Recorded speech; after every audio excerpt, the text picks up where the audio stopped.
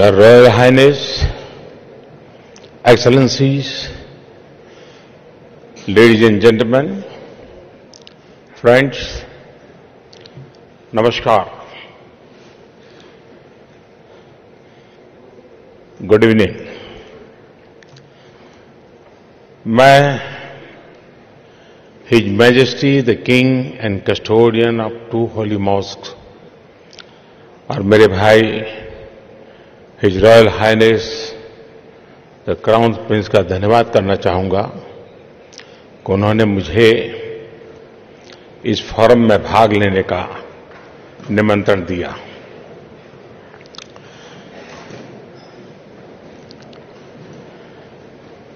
Saudi Arabia और यहाँ स्थित पवित्र मौस दुनिया के करोड़ों लोगों की आस्था का केंद्र है। यह भूमि वर्ल्ड इकोनॉमी का भी ऊर्जा स्रोत रही है। आज रियाद के इस ऊर्जावान शहर में आपके बीच में मुझे भी पॉजिटिव एनर्जी महसूस हो रही है। Friends, future investment initiative forum के विषय से ये स्पष्ट करते हैं। इस फोरम का उद्देश्य सिर्फ़ यहाँ के अर्थतंत्र की ही चर्चा करना नहीं है, बल्कि विश्व में उभरते ट्रेंड्स को समझना और उसमें विश्व कल्याण के रास्ते ढूंढना भी है। इसी कारण यह dynamic platform business world calendar का एक महत्वपूर्ण भाग बन गया है। सिर्फ़ तीन साल के कम समय में ही इस फॉरम ने लंबा सफ़र तय किया है। मेरे मित्र और भाई काउन प्रिंस इस सफलता के लिए बहुत बहुत बधाई के पात्र हैं। उनके इस फॉरम को दाओस ऑफ़ द डेजर्ट कहा जाता है। पिछली शताब्दी में सऊदी अरब के लोगों की मेहनत और कुदरत की नेमत ने डेजर्ट के रेत को सोना बना दिया। अगर चाहता तो सऊदी अरब का नेतृत्व आराम से बैठ सकता था, मगर आपने आने वाली कई पीढ़ियों के बारे में सोचा, भविष्य की चिंता की, पूरी मानवता का ख्याल किया। मैं रॉयल हायनेस क्राउन प्रिंस को इस बात के लिए बहुत बहुत बधाई देता हूँ।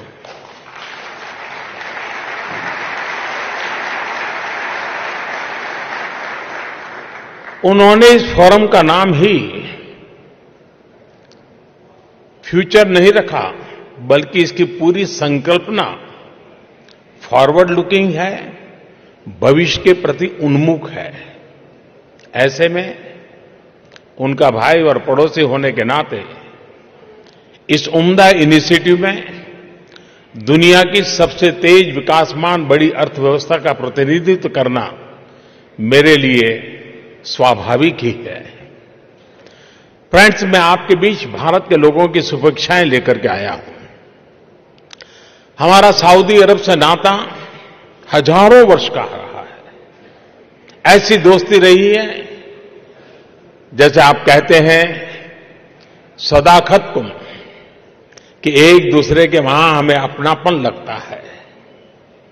हमारे ऐतिहासिक संबंधों और संपर्कों ने हमारी स्ट्रैटेजिक पार्टनरशिप को मज़बूत बुनियाद भी रखी है। और आज हमने क्राउन प्रिंस के साथ बातचीत में स्ट्रैटेजिक पार्टनरशिप काउंसिल की स्थापना करके अपने संबंधों को नई ऊंचाई प्रदान की है। हिज मैजेस्टी द किंग और his royal highness crown prince के मार्गदर्शन में हम संबंधों में अप्रत्याशित प्रगति और अपनापन ला पाए हैं।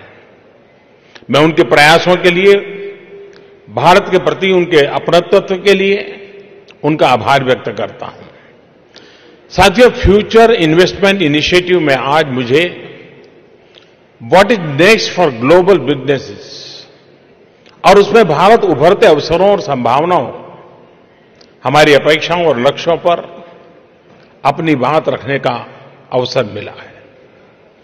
भारत ने अगले पाँच वर्ष साल में अपनी इकोनॉमी को दोगुनी करके फाइव ट्रिलियन डॉलर तक पहुँचने का लक्ष्य रखा है।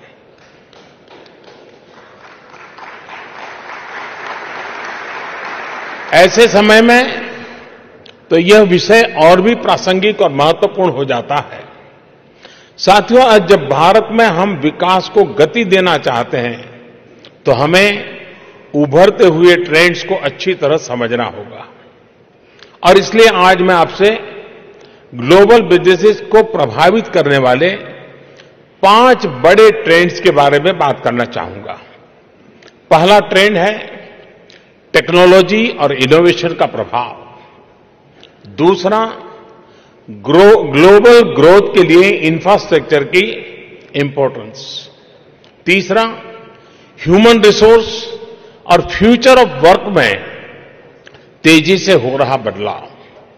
चौथा कंपेशन फॉर एनवायरमेंट और पांचवा पांचवा ट्रेंड है business friendly governance friends technology और इनोवेशन के बढ़ते हुए प्रभाव के हम चश्मदीद गवाह हैं। ट्रांसफॉर्मेटिव टेक्नोलॉजी जैसे आर्टिफिशियल इंटेलिजेंस, जेनेटिक्स और नैनो टेक्नोलॉजी रिसर्च से आगे बढ़कर आज रोज़मर्रा के जीवन का भाग बनती जा रही है।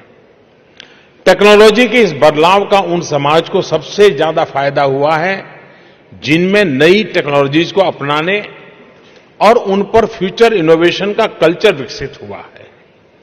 भारत में हमने इस कल्चर को मज़बूत करने के लिए अनेक स्तरों पर प्रयास किया है। चाहे वह युवाओं के लिए स्टार्टअप चैलेंजेज हो, या हैकेथॉन्स हो, या फिर स्कूल चिल्ड्रन के लिए अटल टिंकरिंग लैब्स, जहाँ वो इनोवेशन को खुद अनुभव करते हैं। आज भारत में रिसर्च एंड डेवलपमेंट से लेकर टेक एंटरप्राइज एक व्यापक इकोसिस्टम तैयार हो रहा है। हमारे इन प्रयासों के नतीजे भी आना शुरू हुए हैं। आज भारत दुनिया का तीसरा बड़ा स्टार्टअप इकोसिस्टम बन गया है। भारत के टीयर टू और टीयर थ्री शहरों में भी स्टार्टअप्स उभर करके आए हैं। भारत में वन बिलियन यूएस डॉलर से ज़्यादा वैल्यूएशन वाले यूनिकॉर्न्स की संख्या बढ़ती जा रही है। हमारे कई स्टार्टअप्स वैश्विक स्तर पर निवेश करने लगे हैं। Indian startups are facing are edging everything from food delivery to transport to hospitality to medical treatment to tourism और इसलिए विश्व के सभी इन्वेस्टर्स खासकर वेंचर फंड से मेरा अनुरोध है कि आप हमारे स्टार्टअप इकोसिस्टम का लाभ उठाएँ। मुझे पूरा भरोसा है कि भारत में इनोवेशन में किया गया निवेश सबसे ज़्यादा रिटर्न देगा। और ये रिटर्न्स सिर्फ़ भौतिक नहीं होंगे बल्कि युवाओं को एम्पावर करेंगे। फ्रेंड्स वैश्विक बुद्धि और बिजनेसेस के विकास के लिए इंफ्रास्ट्रक्चर का महत्व लगातार बढ़ता जा रहा है। मैं मानता हूँ कि इंफ्रास्ट्रक्चर एक अपॉर्चुनिटी मल्टीप्लायर है। इंफ्रास्ट्रक्चर एक तरफ़ बिज़नेस को निवेश के व्यापक अवसर देता है तो दूसरी ओर बिज़नेस की वृद्धि के लिए इंफ्रास्ट्रक्चर आवश्यक है, अनिवार्य है। साथ साथियों दुनिया में फ़िज़िकल इंफ्रास्ट्रक्चर के अवसर सबसे ज़्यादा विकासशील देशों में है। एशिया में देखें तो इंफ्रास्ट्रक्चर के प्रति, के लिए प्रति वर्ष 700 बिलियन डॉलर्स के निवेश की ज़रूरत है। भारत में हमने अगले कुछ सालों में इंफ्रास्ट्रक्चर में 1.5 ट्रिलियन डॉलर्स के निवेश का लक्ष्य रखा है। और फिर आज हम इंफ्रास्ट्रक्चर के बारे में साइलोस में नहीं सोचते, बल्कि हमारा प्रयास इंटीग्रेटेड अप्रोच का है। One nation one power grid one nation one gas grid one nation, one water grid, one nation, one mobility card, one nation, one optical fibre network. ऐसे अनेक प्रयासों से हम भारत के इंफ्रास्ट्रक्चर को इंटीग्रेट कर रहे हैं। हमने हर भारतीय को घर देने का और हर घर तक बिजली और नल से जल पहुँचाने का लक्ष्य रखा है। इंफ्रास्ट्रक्चर के निर्माण की अपनी स्पीड और स्केल को भी हमने अभूतपूर्व रूप से बढ़ाया है। और इसलिए भारत में इंफ्रास्ट्रक्चर की ग्रोथ डबल डिजिट में रहेगी और इसमें कैपेसिटी सेचुरेशन की कोई संभावना नहीं है। इसके कारण निवेशकों को लंबे समय तक रिटर्न भी सुनिश्चित रहेगा। साथियों, तीसरा ट्रेंड यानी ह्यूमन रिसोर्स और फ्यूचर ऑफ़ वर्क में आ रहा बदलाव भी बहुत महत्वपूर्ण है। आज इंटरनेशनल फॉरेन इन्वेस्टमेंट के निर्णय क्वालिटी मैन पावर की उपलब्धता पर निर्भर करते हैं। साथ ही स्किल मैन पावर किसी भी कंपनी के वैल्यूएशन का मानदंड बन जाता है। ऐसे में तेज़ी से लोगों को स्किल्ड करना हमारे सामने एक चुनौती है। जिस तरह नेचर ऑफ़ वर्क में बदलाव आ रहा है, उससे आने वाले सालों में हमें लोगों को कई बार रीस्किल करना पड़ेगा। लर्न, अनलर्न एंड रीलर्न के साइकिल ज़रूरी बन जाएँगे। फ्रेंड्स, भारत के स्किल ह्यूमन रिसोर्सेज को दुनिया भर में आदर और प्रतिष्ठा मिले हैं। भारतीय टैलेंट ने यहाँ सऊदी अरेबिया में अनुशासित कानून का पालन करने वाले, परिश्रमी और कुशल कार्यबल के रूप में अपनी अनूठी पहचान बनाई है। भारत में स्किल का विकास करने के लिए हमने एक कॉम्प्रिहेंसिव विजन तैयार किया है। और उस पर लगातार काम कर रहे हैं। स्किल इंडिया इनिशिएटिव के माध्यम से हम अगले तीन चार वर्षों में 400 मिलियन लोगों को विभिन्न स्किल्स में ट्रेन करेंगे। भारत में निवेश करने वाली कंपनीज़ को इससे एश्योर स्किल मैन पावर मिलेगा। साथियों, स्किल मैन पावर का आवागमन आसान बनाने से पूरे विश्व की अर्थव्यवस्था में वृद्धि होगी। मैं मानता हूँ कि हमें इंटरनेशनल ट्रेड एग्रीमेंट्स को सिर्फ़ गुड्स तक सीमित नहीं रखना चाहिए, बल्कि मैन पावर और टैलेंट मोबिलिटी को भी उसका अभिन्न अंग बनाकर उसमें सरलता लानी चाहिए। फ्रेंड चौथा ट्रेंड यानी कंपेशन कंपेशन फॉर एनवायरमेंट ये ट्रेंड ही नहीं है, बल्कि हमारे समय की प्रमुख आवश्यकता भी बन गई है। क्लाइमेट चेंज का प्रभाव और क्लीन ऊर्जा का महत्व इतने व्यापक है कि उन्हें नजरअंदाज नहीं किया जा सकता। आने वाले सालों में हमारा एनर्जी कंजम्पशन का पैटर्न और बदलेगा। कोल से ऑयल और ऑयल से गैस और फिर रिन्यूएबल्स की तरफ़ झुकाव बढ़ता जाएगा। ऊर्जा की खपत और ऊर्जा की बचत दोनों ही महत्वपूर्ण होंगे। और स्टोरेज भी एनवायरमेंट डिग्रेडेशन की चुनौतियाँ भी बढ़ती जाएगी। इसी को समझते हुए भारत में हम गैस और ऑयल के इंफ्रास्ट्रक्चर में बड़ी मात्रा में निवेश बढ़ा रहे हैं। वर्ष 2024 तक हमारा रिफाइनिंग पाइपलाइंस और गैस टर्मिनल्स में 100 बिलियन डॉलर्स तक के निवेश का लक्ष्य है। मुझे खुशी है कि सऊदी अरामको भारत में वेस्ट कोस्ट रिफाइनरी प्रोजेक्ट जो एशिया की सबसे बड़ी रिफाइनरी होगी, उसमें निवेश करने का निर्णय लिया है।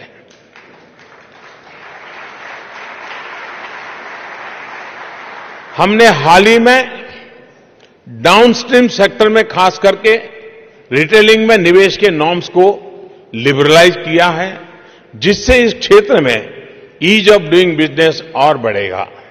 इसके अलावा हमने रिन्यूएबल्स में 175 गीगावाट ऊर्जा पैदा करने का जो लक्ष्य रखा था, उसे भी आने वाले वर्षों में बढ़ाकर 450 गीगावाट तक ले जाने का तय किया है। भारत की तेज गति से बढ़ती इकोनॉमी के लिए ऊर्जा में निवेश बहुत ज़रूरी है। और हम यहाँ मौजूद एनर्जी कंपनीज़ से इन अवसरों को, का लाभ उठाने का अनुरोध करते हैं। Friends last but not the least पांचवा ट्रेंड यानी सरकार की बदलती भूमिका और उसका फ्यूचर ऑफ़ बिज़नेस पर प्रभाव भी बहुत व्यापक है।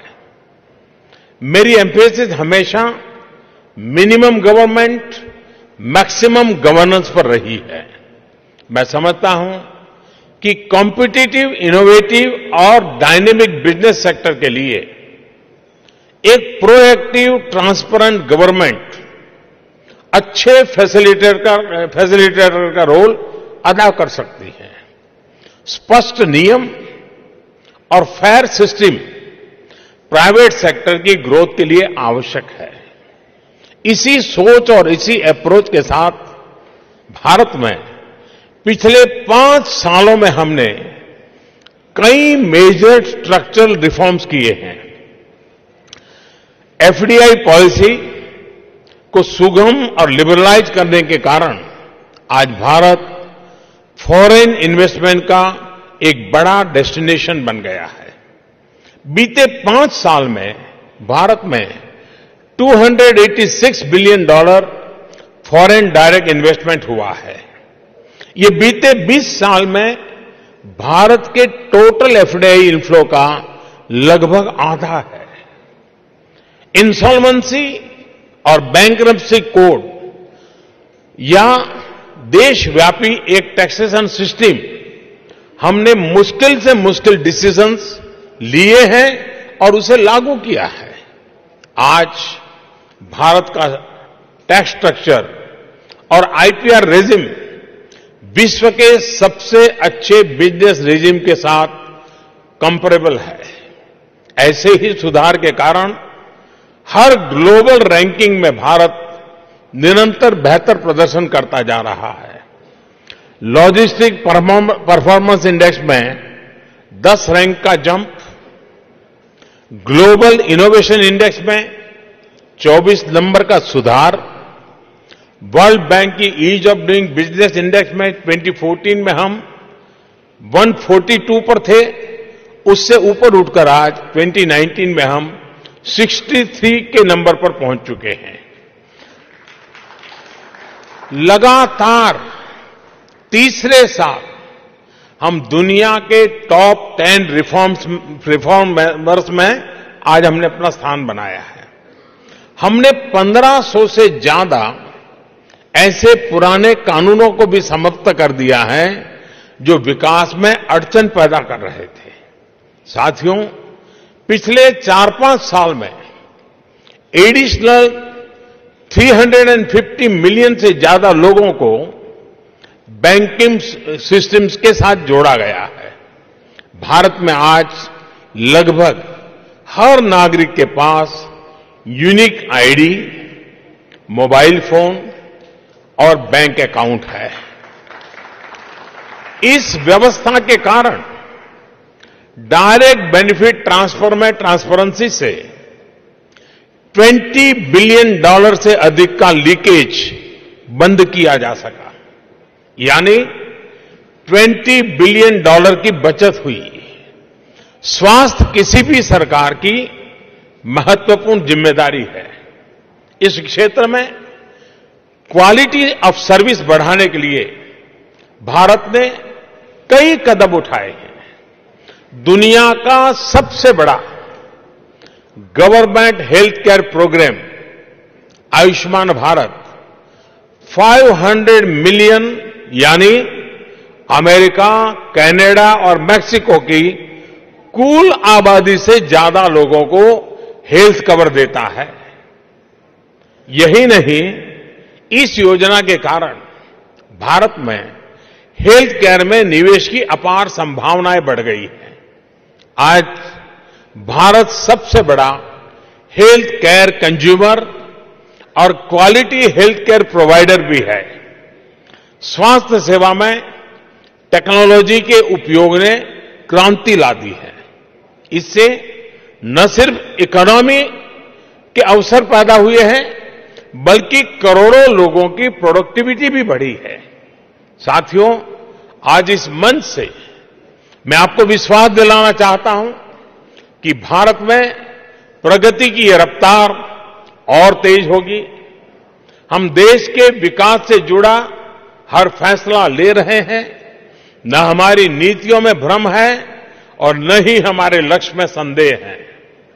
हमारे फाइव ट्रिलियन डॉलर इकोनॉमी के लक्ष्य का रोड मैप तैयार है। यह लक्ष्य सिर्फ़ क्वांटिटेटिव ग्रोथ का ही नहीं है, पर हर भारतीय की क्वालिटी ऑफ़ लाइफ बेहतर करने का भी है। हम ईज ऑफ़ डूइंग बिज़नेस में ही नहीं ईज ऑफ़ लिविंग में भी सुधार ला रहे हैं। पॉलिटिकल स्टेबिलिटी प्रिडिक्टेबल पॉलिसी और बड़े डाइवर्स मार्केट के कारण भारत में आपका इन्वेस्टमेंट सबसे अधिक लाभदायक रहेगा। फ्रेंड्स हमारे साथी हमारे साथी देशों का सहयोग, हमारी विकास यात्रा का अभिन्न अंग है। सभी देशों के साथ पूरकता खोजकर और सिनर्जी बढ़ाकर हम विन विन सिचुएशन के लिए काम कर रहे हैं। सऊदी अरेबिया के विजन 2030 और इकोनॉमी को डाइवर्सिफाई करने की योजनाओं में हम उनके साथ कदम से कदम मिलाकर के चलेंगे। फ्रेंड्स, भारत की स्वतंत्रता को 2022 में 75 ईयर पूरे होंगे। हमने उस समय तक न्यू इंडिया बनाने का लक्ष्य अपने सामने रखा है।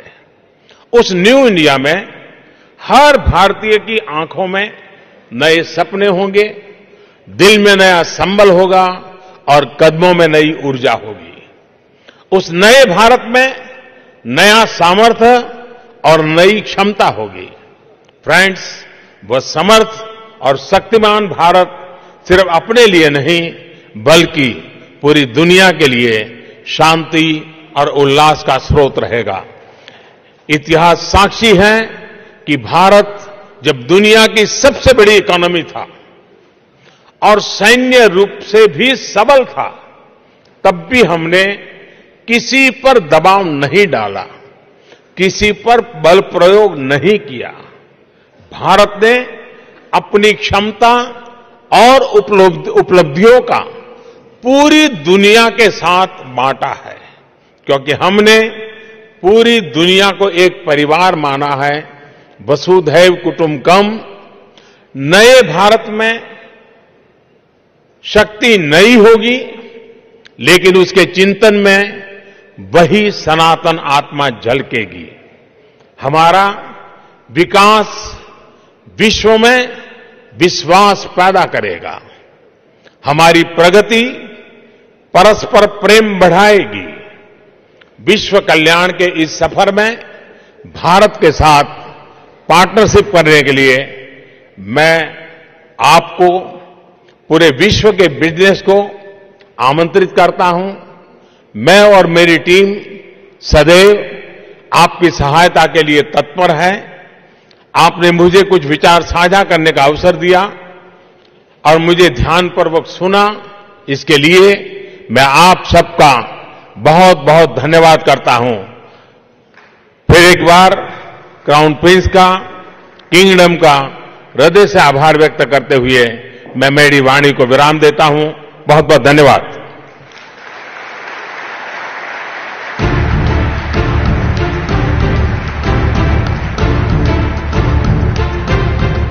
Ladies and gentlemen, to join the Prime Minister in conversation, please welcome to the stage the founder, chairman, and co-chief investment officer of Bridgewater Associates, Mr. Ray Dalio.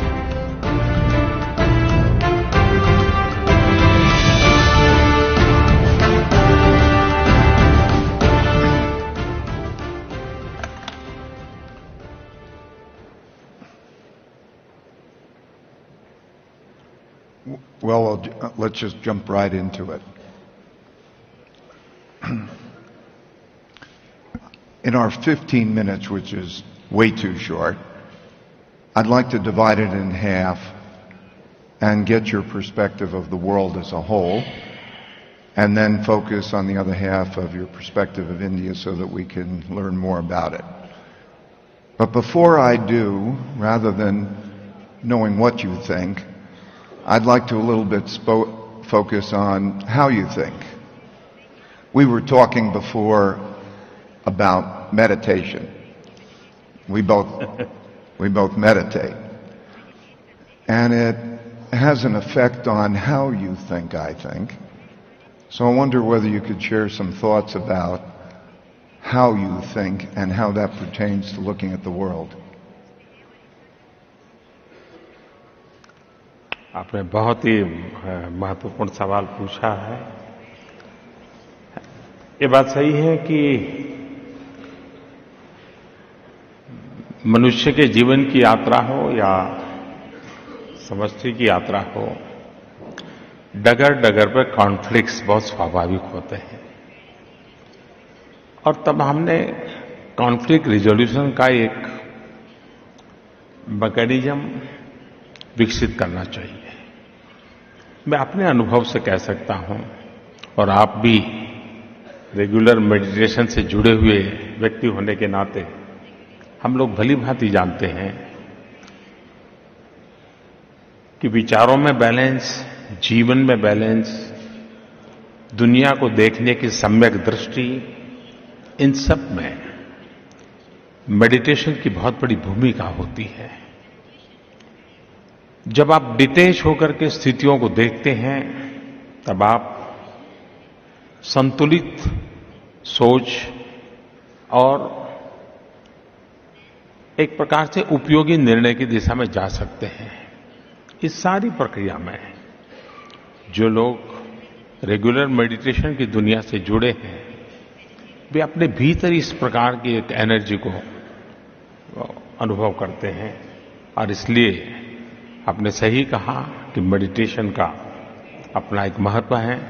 लेकिन जहाँ तक विश्व की परिस्थिति का सवाल है, हम देख रहे हैं कि शांति की चर्चा शायद सबसे अधिक इसी शताब्दी में और पिछली शताब्दी में हुई है।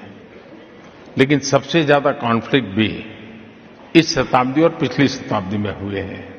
और उसका कारण होलियर देन दाऊ सुपेरियरिटी का विचार, एक प्रकार से सहजीवन के अस्तित्व का अस्वीकार, और सबको मिलकर के ग्रो करना चाहिए।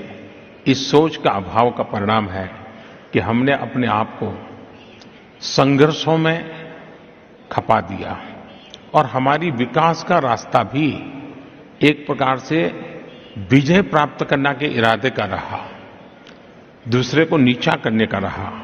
और इस सारी स्थितियों में से ये कॉन्फ्लिक्ट को जन्म हुआ है मैं समझता हूँ कि विश्व में सम्यक सोच के साथ आगे बढ़ना इस परिस्थितियों का रास्ता निकाल सकता है Meditation tends to bring one above circumstances and then look down on them. I wonder if we could talk about the world from the perspective of five major issues. It seems to me that um, in the world, particularly in the developed world, there's a great deal of conflict. You talked about that the rich and the poor, the capitalists and the socialists, those different values. So, conflict, and as it affects capitalism, as it affects the way we are with each other, there's one dimension. Second dimension is the international changing of the world order.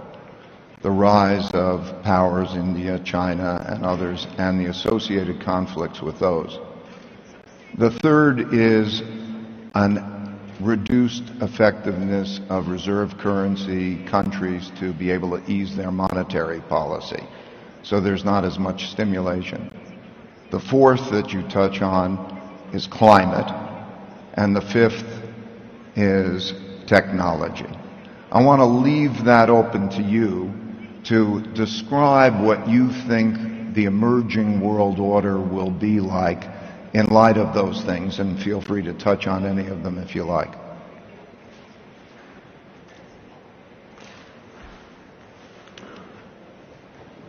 आपकी बात सही है एक समय था जब bipolar world था और बाइपोलर वर्ल्ड होने के कारण दुनिया में कोई न कोई देश किसी न किसी खेमे में था और इसलिए सिचुएशन को समझना भी एक परंपरा बन गई थी। आज विश्व बदल चुका है। आज मल्टीपोलर वर्ल्ड है। आज दुनिया का हर देश इंटरडिपेंडेंट है इंटरकनेक्टेड है। और उसमें हर एक की अपनी आवश्यकताओं भी कारण है और टेक्नोलॉजी भी रोल कर रही है। और ऐसी स्थिति में आज से तीन, चार दशक पहले जिस प्रकार से दुनिया को देखा जाता था, वो काल बीत चुका है। हमने अपनी सोच बदलनी पड़ेगी। आज विश्व के छोटे से छोटे देश का महत्व बढ़ रहा है। हर एक की कहीं न कहीं उपयोगिता हो रही है। और इसलिए हमने इस मल्टीपोलर वर्ल्ड को और अधिक स्ट्रेंथन करने की दिशा में अपनी विचारधारा कोई भी हो सकती है। सोशलिस्ट हो सकते हैं, कैपिटलिस्ट हो सकती है, विचारधारा कुछ भी हो सकती है, लेकिन अल्टीमेटली हमने मानव जात के कल्याण के लिए हम क्या कंट्रीब्यूट कर रहे हैं, उस दिशा में सोचना चाहिए। एक जमाना था जब ताकत की पहचान विस्तारवाद से जुड़ी थी। कितने भूभाग को आप कब्जे करके बैठे हैं, कितने भूभाग को कब्जा करने की आपकी ताकत है, उस विस्तारवाद के आधार पर दुनिया में ताकत देखी जाती थी। वो युग समाप्त हो चुका है। आज विस्तारवाद नहीं, विकासवाद का महत्व बढ़ रहा है। आप विकास में कैसी नई ऊंचाइयों को प्राप्त कर रहे हैं? आप कौन से नए इनोवेशन कर रहे हैं? आप, आपके लोगों की सामान्य ज़िंदगी में क्या बदलाव ला रहे हैं? आपके यहाँ बदलती हुई टेक्नोलॉजी का इंटरवेंशन कितना महत्वपूर्ण होता जा रहा है। अब वर्टिकली किस प्रकार से आपके अपने क्षेत्र को ऊपर ले जा रहे हो, दुनिया में उसकी स्वीकृति बनने वाली है। और इसलिए हेल्दी कंपटीशन हम विकासवाद की तरफ़ चलें वर्टिकल ग्रो करने की दिशा में चलें, और हम वर्टिकल ग्रो करेंगे तो उसका लाइट जो अनडेवलप लोग हैं, उन तक भी पहुँचाने की सरलता बढ़ेगी। और इसलिए उस दिशा में काम करना होगा। दूसरी तरफ़ है, विश्व ने पिछले दो या तीन शताब्दी में जो टेक्नोलॉजी में परिवर्तन की गति देखी है, उससे आज टेक्नोलॉजी के परिवर्तन की गति हज़ारों गुना ज़्यादा है। उस समय टेक्नोलॉजी का क्षेत्र डगर डगर थोड़ा बहुत, आज जीवन का कोई क्षेत्र ऐसा नहीं है जो टेक्नोलॉजी ड्रिवन न हो। और इसलिए हमने हमारी नई पीढ़ी को इनोवेशन के लिए मानवीय संवेदनाओं के साथ, हमें रोबोट तैयार नहीं करने हैं हमें इंसान ज़िंदा इंसान तैयार करने दुनिया के सामने संवेदना और टेक्नोलॉजी ह्यूमन वैल्यूज़ इसका बैलेंस बनाना एक बहुत बड़ी जिम्मेवारी होगी। और मैं समझता हूँ कि विश्व ने उस बातों की ओर ध्यान देना होगा।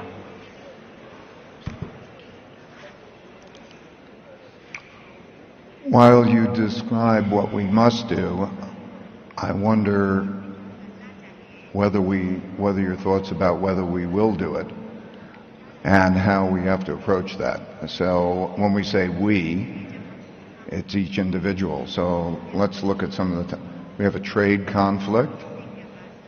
We have a technology conflict.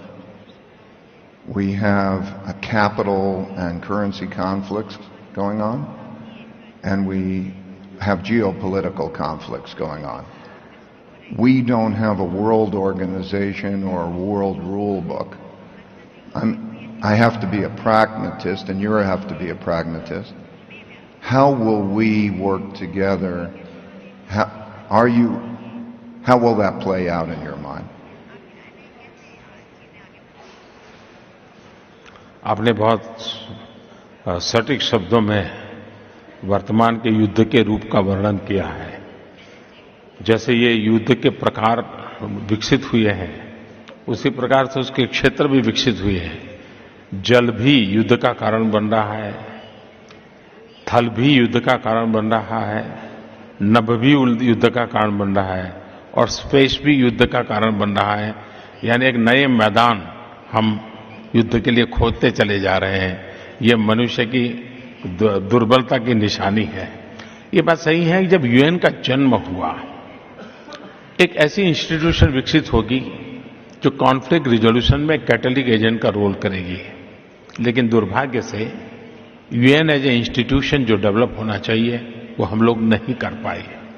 जब सत्तर साल हुए, तब लग रहा था कि शायद यूएन में रिफॉर्म्स होंगे, बदलाव आएगा। नहीं हो पाया। अब यूएन 75 होने वाले हैं।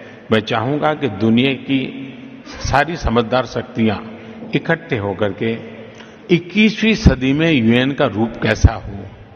नॉर्म्स क्या हो? उन नॉर्म को मानने की दुनिया की जिम्मेवारी क्या हो? उस दिशा में हम चले। हम सिर्फ़ कोई एपिडेमिक हो जाए, कहीं नेचुरल कैलेमिटी हो जाए और यूएन लीड कर लें, उतने ही मात्र से अगर संतोष मानेंगे तो दुनिया को एक रखना, दुनिया को दिशा देने के लिए स्थिति नहीं बनेगी। दूसरा दुर्भाग्य हुआ कि ताकतवर लोगों ने यूएन इंस्टीट्यूशन के रूप में डेवलप हो उसके बजाय यूएन एक इंस्ट्रूमेंट के रूप में काम आए, उस रास्ता पकड़ा, जिसके कारण यूएन का भी एक न्यूट्रल ग्लोबल रूल बेस्ड व्यवस्था के लिए कंट्रीब्यूशन होना चाहिए, वो नहीं हो पाया। तब जाकर के मुझे लगता है, आज दुनिया में संकट कहाँ से शुरू होता है? कुछ लोग हैं, वो अपने आप को इतना बड़ा मानने लगे हैं, कोई कानून मानने को तैयार नहीं है। और कुछ लोग हैं जो कानून के बोझ में दबे हुए हैं। अगर विश्व को चलाना है तो हमें कुछ न कुछ नियमों को, कानूनों का पालन कर ये पूरा ब्रह्मांड भी इसलिए चल रहा है कि ब्रह्मांड के हर इकाई ने, सूर्य ने अपने नियमों का पालन किया है, चंद्र ने अपने नियमों का पालन किया है, पृथ्वी ने अपने नियमों का पालन किया है, और कोई नियम नहीं तोड़ता है। और उसी के कारण विश्व चल रहा है। तो दुनिया के देशों ने भी वैश्विक नियमों का पालन करना ही होगा और हमने हर प्रकार से नियमों का उल्लंघन के प्रति विश्व को एक होकर के चलना चाहिए तब जाकर के ऐसी शक्तियों को आइसोलेट कर सकते हैं और उनको सही रास्ते पर लाने का प्रयास कर सकते हैं। That's one of the reasons I started with the topic of meditation, to rise above it. And hopefully deal with the common good and the capacity to do that. I hope your musts get accomplished. Turning to India, one of the things I think that you've done, well, you've done many remarkable things, but one of them is um, to represent all of the people in, in India, the vast majority. You're not a you're not representing the poor or the rich.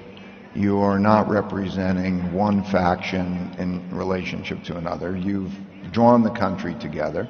You've made intre- tremendous accomplishments. You've brought something like 500 million toilets and you've brought water and you will bring water to all of those people and you are changing their well-being in a united way. So you don't seem to encounter the same political challenges that a lot of leaders face. You seem to have brought it together and you're creating an economy that is um, making a great deal of progress for all of the people in a broader way.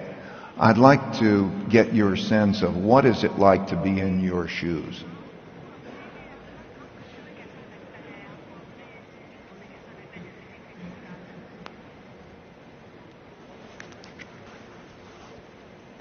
मेरा background कोई बहुत बड़ा राजनीतिक परिवार का भी नहीं रहा है। मैं एक बहुत ही सामान्य परिवार से आया हूँ। मुझे किताबों से मैंने गरीबी नहीं पढ़ी है, मैं गरीबी में जी करके आया हूँ। मैंने ज़िंदगी गरीबी में बिताई है। रेल प्लेटफॉर्म पर चाय बेचते बेचते मैं आज यहाँ पहुँचा हूँ। और इसलिए मेरे दिल में वो दर्द होना बहुत स्वाभाविक है कि मैं मेरा मेरा शक्ति, मेरा समय, मेरी स्थिति, इन लोगों के लिए काम है हमें खुशी है कि पिछले कुछ ही वर्षों में, आज दुनिया में, तेज गति से गरीबी को खत्म करने में भारत सफल हुआ है। मेरा गरीबी के खिलाफ लड़ाई का रास्ता है गरीबों को एम्पावर करना। गरीबों को ताकतवर बनाना, वो खुद गरीबी को खत्म करने के लिए आगे आ जाएँगे। और इसलिए मैं जिन स्कीम को चलाता हूँ, वो सारी चीज़ें दूसरी बात है, गरीब को डिग्निटी चाहिए। जब मैं टॉयलेट देता हूँ, तब एक व्यवस्था नहीं देता हूँ, मैं डिग्निटी देता हूँ। जब मैं एक गरीब को बैंक अकाउंट खोलता हूँ तो बैंक में कितने पैसे महत्व नहीं है। जब उसका बैंक खाता खुलता है, उसकी डिग्निटी होती है कि एक अमीर बैंक में जाता है, मैं गरीब हूँ, फुटपाथ पर रहता हूँ, मैं भी बैंक में जाऊँगा। ये जो एम्पावरमेंट है, ये डिग्निटी है, वो उसके जीवन की सोच को बदल देती है। और मैंने उसको टारगेट किया है और मेरे देश में उसमें सफलता मिली है। और मेरे भीतर का जो संतोष ये है कि जब गरीब बोलता है कि मैं गरीबी को खत्म करूँगा, उससे बड़ा जीवन का कोई संतोष नहीं हो सकता है।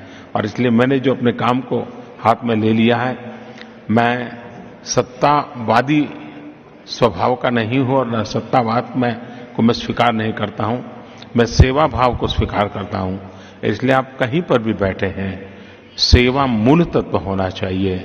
और मेरी कोशिश ये रहती है, और बड़ों के आशीर्वाद से मेरी कोशिश रहती है कि सेवा भाव को लेकर के ही हम अपने पोजीशन का उपयोग करें, लोगों के काम आए, बहुत तेज़ी से बदलाव।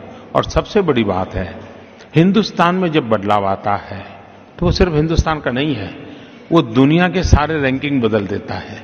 जब मैं टॉयलेट बनाता हूँ ओपन डेफिकेशन फ्री सोसाइटी खड़ी होती है तो विश्व के सारे आंकड़े बदल जाते हैं। मैं अगर गरीबी मेरे देश में दूर करता हूँ तो विश्व के गरीबी के आंकड़े बदल जाते हैं। यानी भारत का बदलाव वो विश्व के बदलाव का बहुत बड़ा कारण बनता है। तो मन को एक संतोष होता है कि मुझे जो काम मिला है मेरे देश का, लेकिन मैं दुनिया को बदल रहा हूँ। जैसे दुनिया ने तय किया है 2030 तक टीबी से मुक्त होना। हमने तय किया है 2025 तक हो जाएँगे।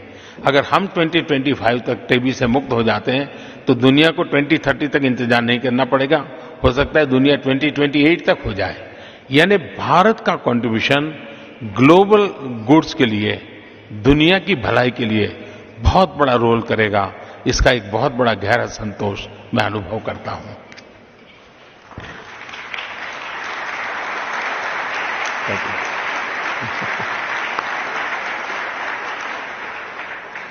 One more question because we're out of time. Um, your combination of human capital and technology is very interesting.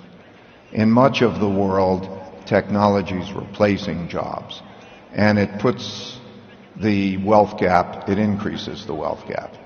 It's, I'd like your thoughts on combining your human capital and raising the capacity of human capital and, with technology and using that as a combination to raise India.